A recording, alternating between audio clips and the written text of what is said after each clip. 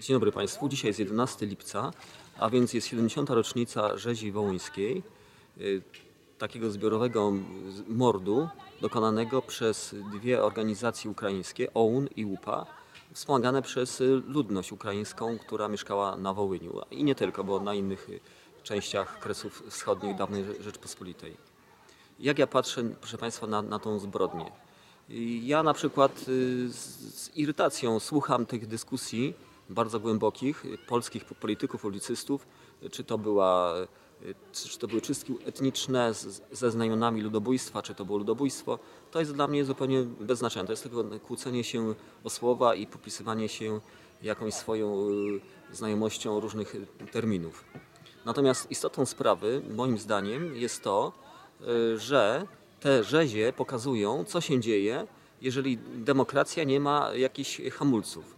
Jest to przykład, y, taki dobitny, morderczy przykład y, demokracji tak zwanej bezpośredniej, tak, tak, bym, tak bym ją nazwał.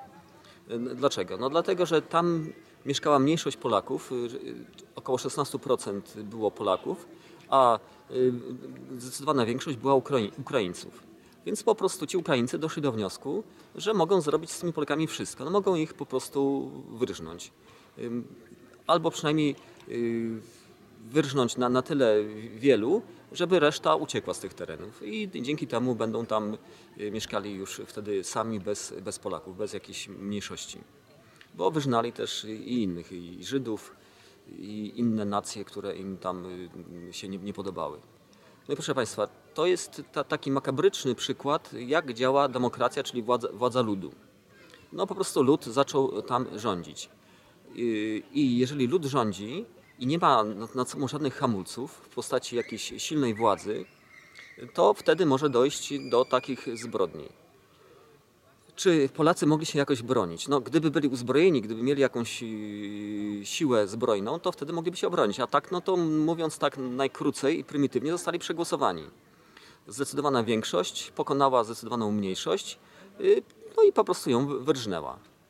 I dlatego, jeżeli Państwo y, czasem słyszą takie opinie pana Janusza Korwin-Mikke, że demokracja jest to zły ustrój, że demokracja y, jest to ustrój, który może prowadzić do różnych y, nadużyć i do nieszczęść, no to tutaj jest tego znakomity przykład. Przy czym, no, gdyby Państwo powiedzieli w ten sposób, no ale przecież tam nie było głosowania, no, gdyby to było na tej zasadzie, że czy Polaków wyrżnąć, czy nie wyrżnąć, to najpierw powinno się odbyć głosowanie wtedy byłaby naprawdę demokracja, a tak to nie było demokracji.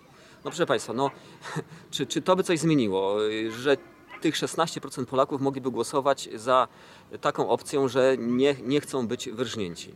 Zostaliby zwyczajnie przegłosowani.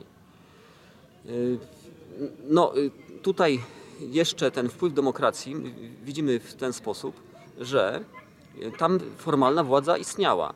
Tam y, rządziła Rzesza Niemiecka, która okupowała te, te tereny. No a kto rządził Rzeszą Niemiecką? No Hitler. Jak Hitler doszedł do władzy? No całkiem demokratycznie, wygrał po prostu wy, wybory. Był szczerym demokratą. No, był przy okazji socjalistą i narodowcem. Takim narodowcem, nacjonalistą y, niemieckim, germańskim. Był też y, socjalistą, czyli ta władza ludu, to było mu to bardzo, bardzo na rękę i dlatego by, być może te władze niemieckie tam się nie wtrącały do tych rzezi, które urządzali Ukraińcy. Też na to patrzyli być, być może jako na, na przejaw jakiegoś ludowładztwa, aczkolwiek w pewnym momencie to powściągnęli te, te, te rzezie po, podobno, no bo y, te, też, y, też mieli tam jakieś swoje różne, różne plany i rozrost tego UPA, zbyt wielka potęga UPA też nie była im na rękę.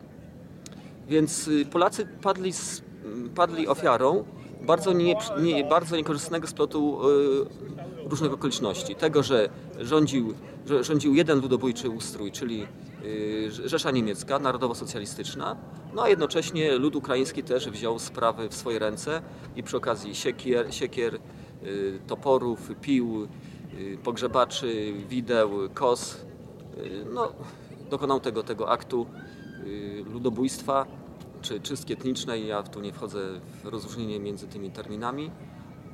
A ja to nazwę po prostu taką okrutną demokracją bezpośrednią. Żegnam Państwa.